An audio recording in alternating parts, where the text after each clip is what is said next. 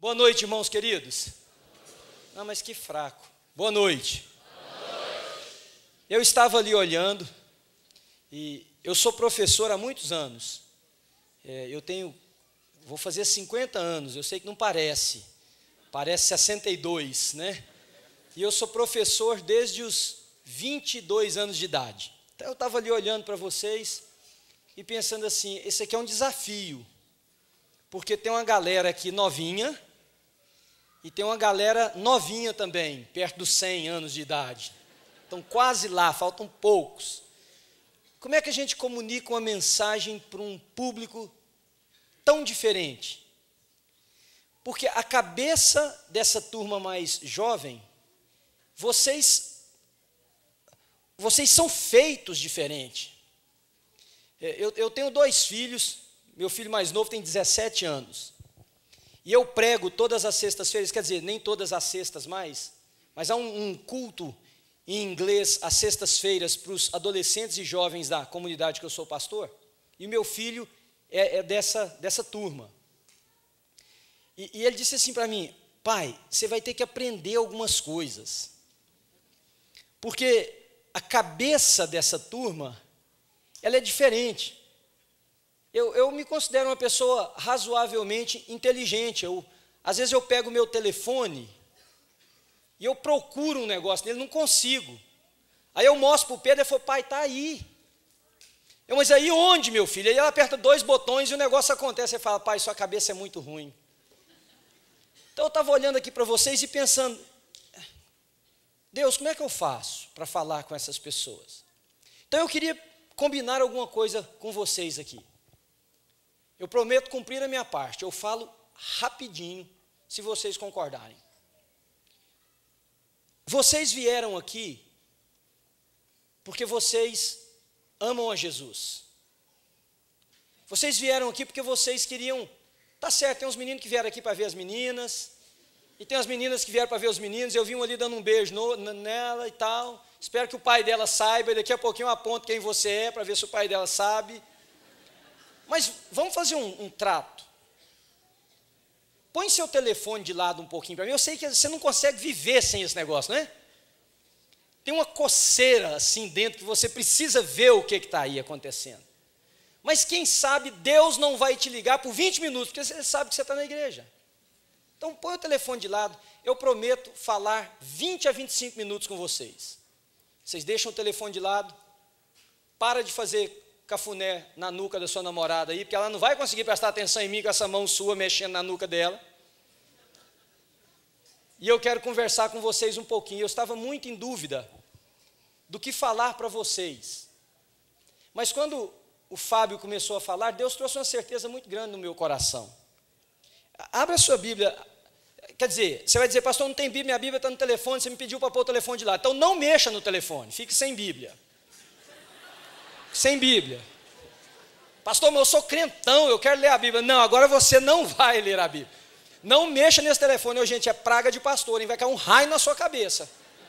Se você mexer nesse telefone. Vai ter o texto na tela, eu imagino, se não tiver, vocês me ouçam. É um texto que está num livro do Novo Testamento chamado Atos dos Apóstolos, no capítulo 2. Eu vou ler 10 versículos, 37 a 47. A palavra de Deus diz assim: Quando ouviram isso, ouviram isso o quê? Uma pregação, uma coisa como essa aqui. Havia acontecido uma coisa muito doida. Os irmãos de manhã cedo começaram a falar numa outra língua que ninguém entendia.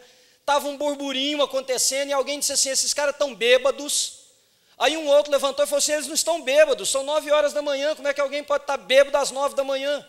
O que está acontecendo é que houve um derramamento do Espírito Santo sobre a vida deles, e cumprindo uma profecia que está lá no livro de Joel, eles estão cheios do Espírito, profetizando, falando em outras línguas. Então o texto nosso começa assim: olha, quando ouviram isso, os seus corações ficaram aflitos e eles perguntaram a Pedro e aos outros apóstolos: irmãos, que faremos? Pedro respondeu: Arrependam-se e cada um de vocês seja batizado em nome de Jesus Cristo, para perdão dos seus pecados, e receberão o dom do Espírito Santo. Pois a promessa é para você, ou para vocês, para os seus filhos, para todos quantos estão longe, para todos quantos o Senhor nosso Deus chamar. Com muitas outras palavras, Pedro os advertia e insistia com eles: salvem-se dessa geração corrompida. Os que aceitaram a mensagem foram batizados, e naquele dia houve um acréscimo de cerca de três mil pessoas. Eles se dedicavam ao ensino dos apóstolos e à comunhão, ao partir do pão e às orações. Todos estavam cheios de temor, e muitas maravilhas e sinais eram feitos pelos apóstolos. Todos os que criam mantinham-se unidos e tinham tudo em comum. Vendendo suas propriedades e bens, distribuíam a cada um conforme a necessidade. Todos os dias continuavam a reunir-se no pátio do templo, partiam pão em suas casas e juntos participavam das refeições com alegria e sinceridade de coração, louvando a Deus e tendo a simpatia de todo o povo. E o Senhor lhes acrescentava todos os dias os que iam sendo salvos. Amém. Gente, o que nós fazemos aqui a cada encontro, domingo, não importa o horário, esse de vocês agora, nós abrimos esse livro secular e nós falamos que o Deus Criador dos céus e da terra fala conosco. Ele não fala como você está me ouvindo, uma voz aí no ouvido. Você ouve e diz: Eu sei que eu ouvi, eu só não sei como que eu ouvi. A nossa reunião, ela é um mistério, porque nenhum de nós toca, nenhum de nós pega, nenhum de nós ouve aqui, mas alguns de nós saem desse lugar com uma certeza: Deus falou comigo, Deus tocou a minha vida. Mas e se nós perguntássemos uns aos outros, qual é a finalidade dessa reunião? Qual é a razão de passarmos esse tempo aqui juntos? Quando o Fábio falava sobre o movimento que vocês fizeram ontem e sobre a estatística que foi mostrada ali num determinado jornal, eu me lembrei de uma frase de um dos meus ídolos, Dr. Martin Luther King, que lutou pela, pelos direitos, pelos direitos humanos num período dificílimo nos Estados Unidos, para que negros e brancos tivessem o mesmo direito para que uma criança negra pudesse brincar no mesmo playground de uma criança branca, para que ela não tivesse que mudar de calçada, para que ela pudesse ir na mesma escola. Mas no meio de toda aquela turbulência, daquele movimento que custou-lhe a vida, ele fala no meio daquilo uma frase que eu acho que ela é extremamente pertinente para nós hoje, e principalmente por ser uma geração tão nova quanto essa que se reúne aqui hoje à noite. Ele disse o seguinte: para que o mal prolifere. A única coisa que é necessária é que o justo fique calado. Para que o mal prolifere, a única coisa que é necessário é que o justo seja omisso. Não, é, não precisa de nada para o mal aumentar, basta quem é justo, quem sabe o bem, ficar calado, ficar na sua não se importar, não dizer eu não tenho nada com isso, não é o meu problema, isso é problema de alguém. Então, a nossa preocupação com o crescimento do islamismo ou do extremismo radicalista de grupos religiosos, ele é um problema real quando a gente vê na televisão alguém perdendo a sua cabeça, bombas explodindo, pessoas inocentes pagando um preço.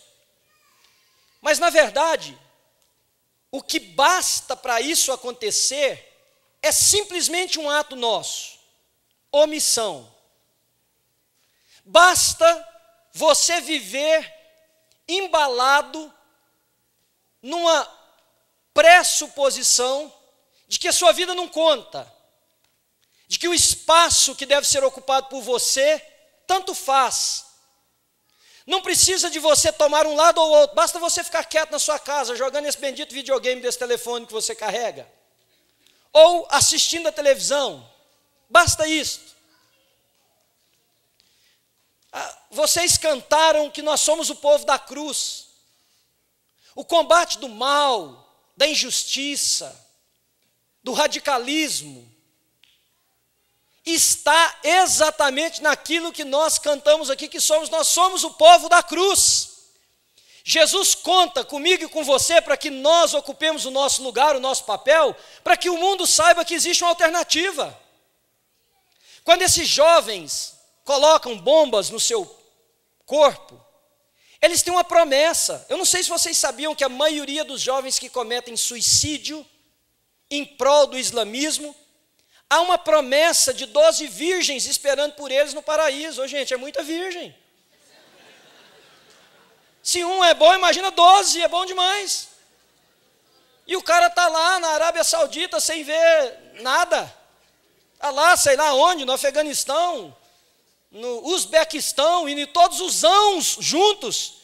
E de repente dizem para ele que ele vai para o paraíso e 12 virgens estão esperando ele. O cara fala, põe, põe bomba aqui. É ou não é? Eles, estatística, a maioria dos jovens suicidas não fazem necessariamente aquilo porque tem uma compreensão exata do que estão fazendo. Eles são induzidos por uma promessa falsa de que Alá os receberá como mártires, como quem fez um jihad e venceu em nome de Alá, que eles serão agraciados por Mohammed quando chegarem no paraíso. Esses jovens, eles estão muito mais enganados do que nós julgamos. E eles estão enganados porque nós omitimos. Porque o Cristo da cruz não vive em nós. E porque às vezes o lugar que nós estamos tem tão pouca luz que as trevas têm cegado esses jovens e eles entregam a vida deles a uma proposta dessa. Então, nós, estamos diante de um texto aqui que tem uma pergunta maravilhosa. O que será que acontece com São Paulo? O que será que acontece, e vocês me corrijam, porque eu, eu sou ignorante da geografia aqui da cidade de vocês, mas aqui é a Zona Leste, não é isso? O que acontece com a Zona Leste de São Paulo? Se estes jovens, meninos e meninas, rapazes e moças, senhores e senhoras desta comunidade realmente se converter a Jesus. Você pode dizer, pastor, para, eu, eu sou crente, eu estou aqui na igreja. Não, eu não disse ser crente. Crente, até o capeta é crente, gente. A Bíblia diz isso, que ele crê que Deus existe. Mas isso não faz dele gente boa. E nem faz dele salvo. Eu não estou dizendo de ser crente, eu não estou dizendo de ir à igreja. Eu estou dizendo de algo a mais, de algo que ganha a nossa vida, enche o nosso coração, ganha o nosso ser de uma maneira tal que saia pelos nossos poros, Jesus, onde a gente passar. O que será que aconteceria com essa comunidade, com essa cidade? Se esse grupo aqui se convertesse, porque foi isso que aconteceu aqui, nós estamos achando que o Estado Islâmico é uma ameaça enorme. Gente, quando esse texto que eu li para vocês foi dado, havia uma perseguição infinitamente maior e mais poderosa do que o Estado Islâmico, que era uma das maiores potências do mundo antigo, que era o Estado de Roma. A mão de César era mais pesada do que os atentados de bomba que esse exército islâmico, o Estado Islâmico faz. As pessoas eram jogadas para serem comidas vivas por feras vorazes. As pessoas eram colocadas em postes e ateada fogo para o deleite dos imperadores. O Estado anárquico e a violência tinha um grau incomparável com o que nós estamos vivendo agora. É nesse momento que essa palavra é dada. Ou seja, nós estamos vivendo um momento difícil, mas o nosso momento não é mais difícil que nenhum outro. E neste momento aqui da Bíblia, com toda essa loucura, o Espírito de Deus vem e faz uma revolução, porque pessoas se convertem a Jesus de Nazaré. O que acontece quando uma comunidade verdadeiramente se converte a Jesus? Eu vou dizer para vocês algumas coisas nos meus 25 minutos. Eu estou de olho ver se você pega no telefone, hein? Se você pegar, eu fico aqui uma hora falando na sua cabeça. Primeira coisa que acontece, gente. O nosso coração se enche de sonhos.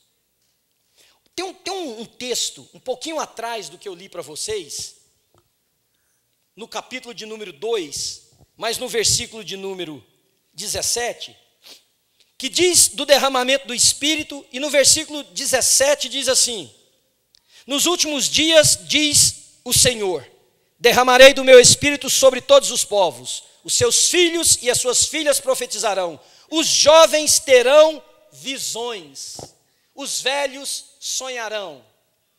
Quando uma comunidade verdadeiramente se converte a Jesus, o que acontece é que nós não nos conformamos com a média. Nós não conformamos com ser igreja que se reúne no domingo para cumprir um calendário religioso, algo muda em nós. O que acontece é que nós começamos a sonhar que as nossas escolas podem ser influenciadas, além de um pensamento sociológico, secularizado, elas podem ser influenciadas pela presença de Cristo. A gente começa a sonhar que o nosso bairro pode ser alcançado. Quando os pais me dizem lá nos Estados Unidos assim, adolescente nenhum quer saber de Jesus mais, eles não querem saber de Jesus, as igrejas estão morrendo com os adolescentes que não querem saber de Jesus, quando a comunidade se converte, nós entendemos que não tem idade para o Espírito de Deus entrar na vida de uma pessoa e fazer algo bonito, e de repente um menino de 15, 16, 17 anos de idade levanta e fala do Evangelho de Jesus para os outros. Quando a comunidade verdadeiramente se converte, derrama nela, como uma chuva copiosa, uma esperança que nós não sabemos de onde vem, mas ela vem dos céus, porque é obra de Deus, é feita por Deus, e nós apenas recebemos o impacto dessa promessa. O que mais que acontece quando uma comunidade se converte? Ela não se torna um lugar perfeito. Ah, oh, pastor, achei que você ia falar de uma coisa boa. Mas é porque nós temos uma falsa impressão de que a igreja é um lugar perfeito, só gente boa. Essa pessoa que está aí da sua direita, da sua esquerda, tem inúmeros problemas e dificuldades. E você veio à igreja porque achou que ele era maravilhoso ou ela era maravilhosa. Deixa eu te dizer o seguinte: essa igreja aqui atrás que eu li, parecia bacana demais, mas ela tinha muitos problemas. Alguns dos problemas dela. Só no livro de, Ato, de, de 1 de Coríntios, capítulo 5, tinha um rapaz dormindo com a mulher do pai, não com a mãe dele. O pai tinha se casado, não era um incesto, ele estava dormindo com a mulher do pai dele. Capítulo 11 de 1 de Coríntios.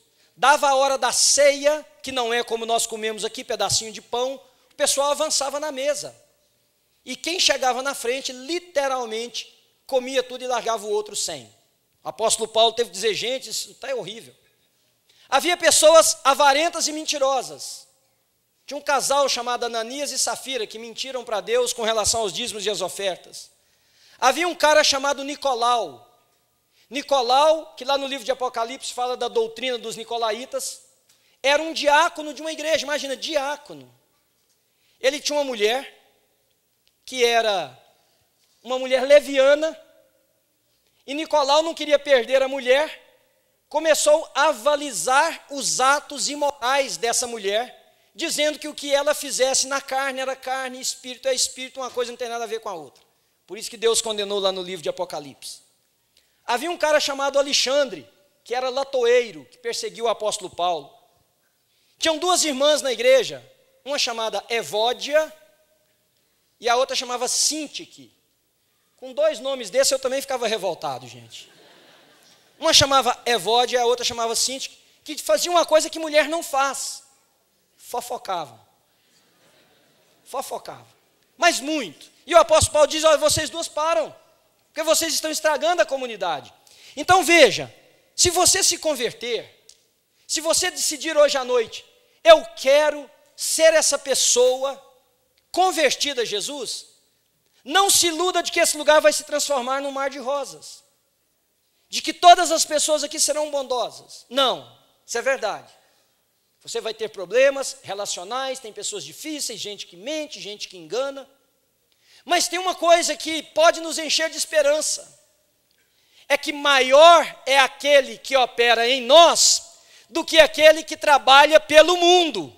Quando uma comunidade se converte, embora ela não seja perfeita, o Espírito de Deus trabalha para que as pessoas sejam alcançadas, transformadas, salvas, redimidas e cheias do Espírito Santo. Nesse dia, 3 mil pessoas. Daí uns dias, mais 2 mil. tudo homens, porque não se contava as mulheres naquela época. Cinco mil homens. A coisa mais comum era o homem ter mulher e ter filhos. Então nós estamos falando aqui facilmente de mais de 10 mil pessoas convertidas em uma semana. O que acontece quando uma comunidade realmente se converte a Jesus? Ela leva o evangelho para os cantos mais escuros de uma comunidade. Você veio aqui sozinho hoje? Você trouxe um amigo? Você trouxe uma amiga de escola, um colega? Alguém que você conhece? Porque quando uma comunidade se converte, é impossível nós mantermos isso somente para nós. Nós queremos que as pessoas ouçam, que elas vejam, venha e veja o que Cristo fez comigo. Então nós vamos parar aqui e fazer um trato domingo que vem. Eu não estou aqui, mas faça uma coisa. Não venha sem trazer alguém domingo que vem aqui na igreja. Amém? Você acha que você consegue?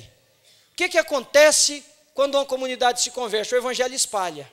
Dá um sinal para mim com a mão, só para me ver que Quantas pessoas nós teremos aqui no domingo que vem? Se você dizer assim, eu vou tentar trazer uma pessoa domingo que vem, eu vou me esforçar, dá um sinal bem alto com a mão assim. Olha, fica com a mão levantada só um pouquinho, gente. Olha, 1.200 assentos nessa igreja. Nós devemos ter pelo menos 900 aqui hoje. Se você trouxer a igreja, está cheia domingo que vem. Diz amém, gente? Amém. Coisa boa. Então traga alguém. O que, que acontece quando o evangelho ou uma comunidade se converte a Jesus. Há um arrependimento e compromisso genuíno.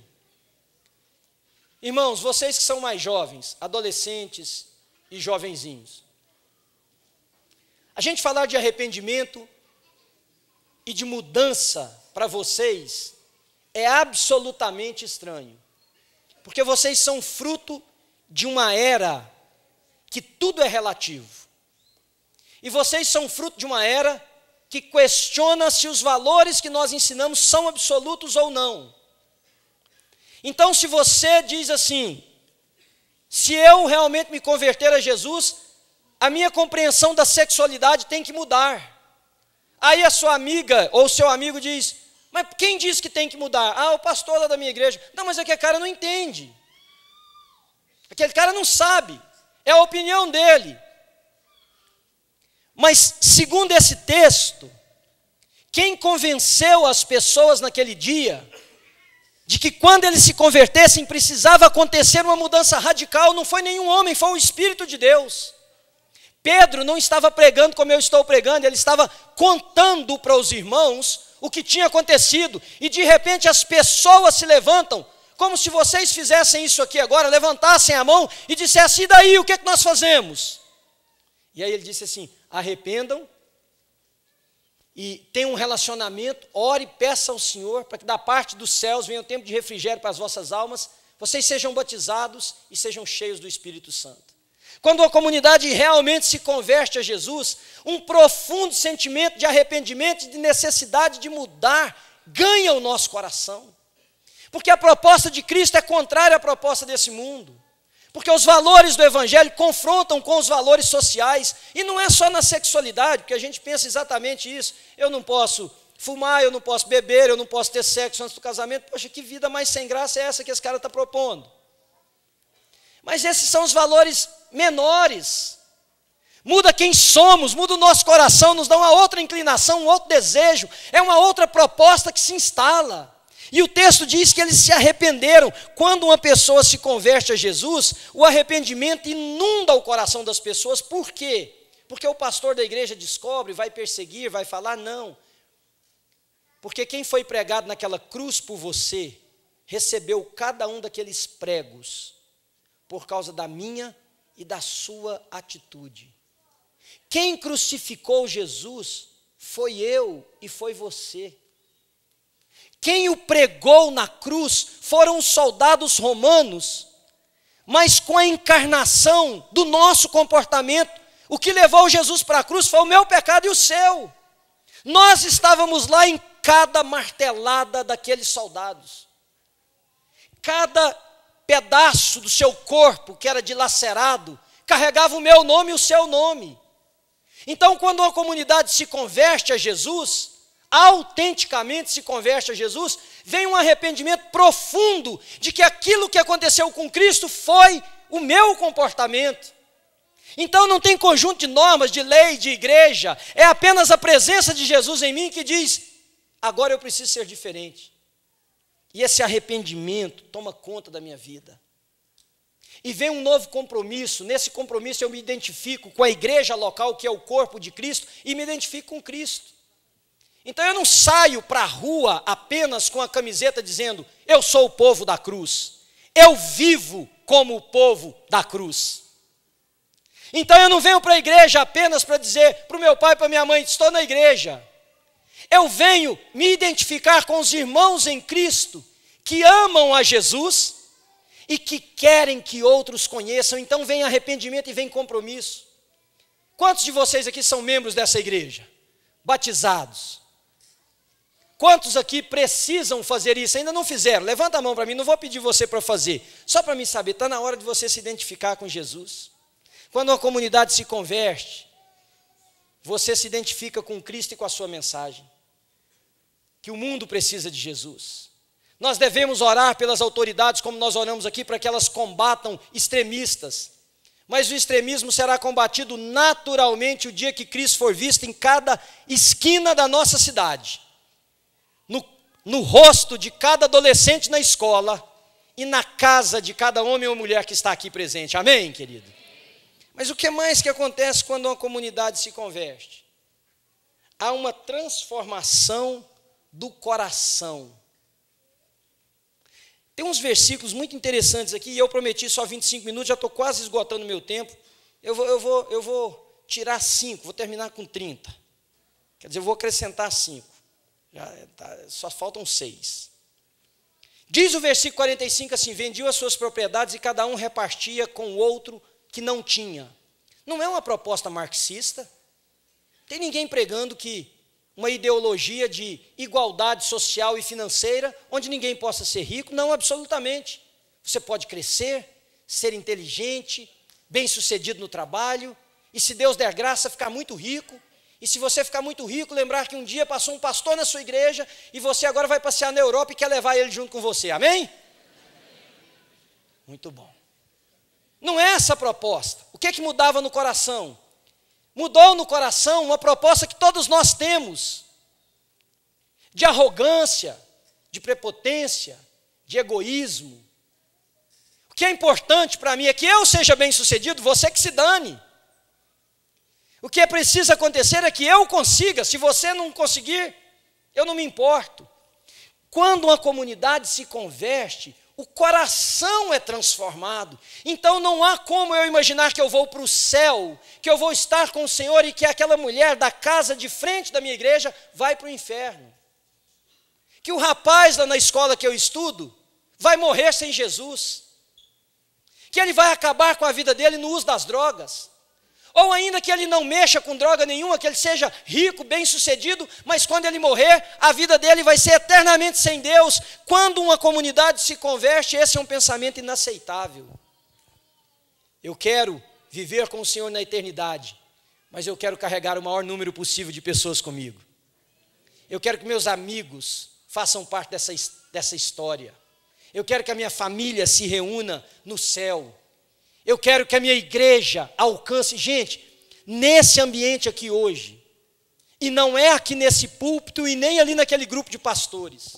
No meio de vocês está um poder de transformar a cidade de São Paulo. Está um poder de ganhar pessoas que nós não ganharemos nunca, nossa cabeça passou. Você entende esse jovem da sua idade, você sabe quais são as lutas dele, você conhece os seus traumas e você tem a linguagem de chegar até ele. O que é preciso para que o mal cresça é apenas que você fique calado. Você que sabe que pode, você que tem as ferramentas, e você que pode ter o coração incendiado pelo poder do Espírito de Deus para fazer isso. Quando uma comunidade se converte, o coração é radicalmente transformado, mudado da multidão dos que creram, era uma só a mente e o coração. Ninguém considerava unicamente sua coisa alguma que possuísse, mas compartilhavam tudo o que eles tinham. E aí diz o texto que enquanto isso, milagres aconteciam e que o Senhor ia acrescentando dia a dia aqueles que iam sendo salvos. O que é que nós precisamos aqui em São Paulo? O que é que a comunidade da graça precisa? Nada mais do que uma comunidade convertida a Jesus de Nazaré. Nada mais do que um homem uma mulher, rapaz e uma moça, 100% convertidos a Jesus de Nazaré. Na, na rua da igreja que eu sou pastor, tem uma mesquita. Aliás, não é uma mesquita, é um centro de treinamento islâmico. Assim, uns 500 metros no máximo da porta da igreja que eu sou pastor.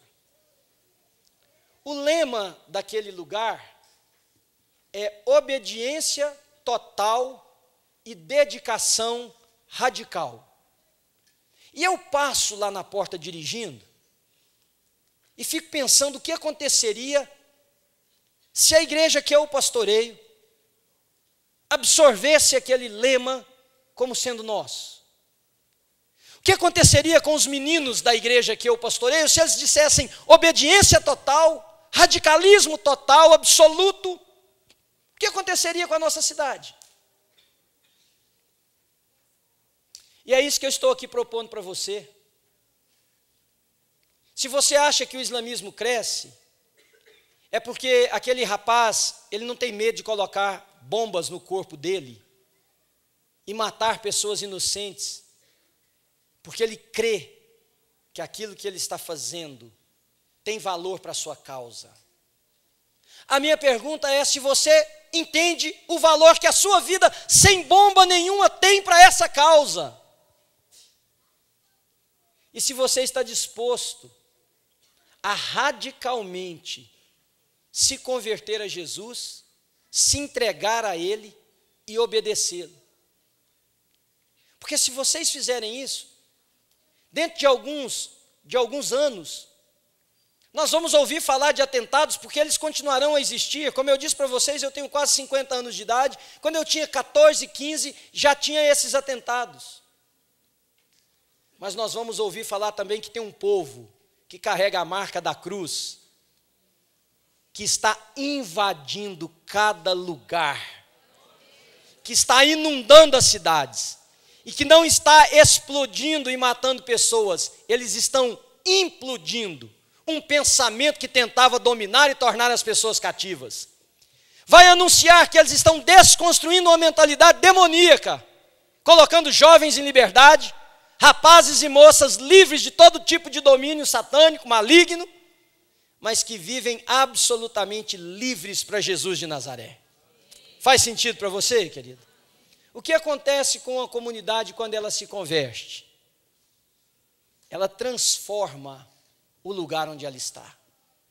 E eu queria terminar minha parte aqui, olha, fui fiel no que nós combinamos. Você ainda não pode pegar no telefone, não. E eu queria fazer um desafio a você. Eu queria fazer um desafio a você em duas áreas. Ah, pastor, você vem com esse negócio? Vou. Porque eu creio nisso. O que acontece com a comunidade quando se converte?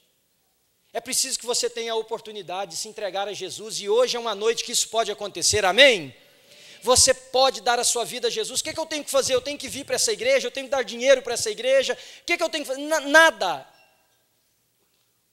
Você precisa hoje dizer: Jesus, entra na minha vida, ganha o meu coração, transforma a minha vida. Seja dono de tudo que eu sou, de tudo que eu tenho, só isto. Posso vir para essa igreja? Claro que pode, deve, é uma excelente igreja, você tem amigos, irmãos, pessoas que vão cuidar de você. Mas o mais importante é a sua decisão. Eu preciso de Jesus, como aqueles homens gritaram lá: O que faremos, irmãos? E eles disseram: Arrependam-se, convertam-se, entreguem-se para Jesus, e Ele é que vai fazer. Então eu queria saber se no meio de vocês há alguém que gostaria de dizer hoje assim: eu quero dar a minha vida a Jesus e investir a minha vida de forma diferente. Eu quero que Cristo seja visto através de mim, por onde eu for. nos meus relacionamentos, nas minhas amizades, na minha convivência. Se tem alguém aqui que quer dizer o seguinte: eu quero Jesus na minha vida a partir de hoje. Você dá um sinal com a mão para mim? Se tem alguém para a gente orar, amém, querido, amém. Louvado seja Deus. Mais alguém, querido? Amém, queridão. Louvado seja Deus pela sua vida. Mais alguém? Eu quero só saber quem você é para a gente orar. Louvado seja Deus pela sua vida, querida. Louvado seja Deus. Vocês entenderam a mensagem? É você orar e pedir a Jesus para entrar na sua vida, mudar quem você é, te dar uma perspectiva diferente, mudar, mudar seu coração.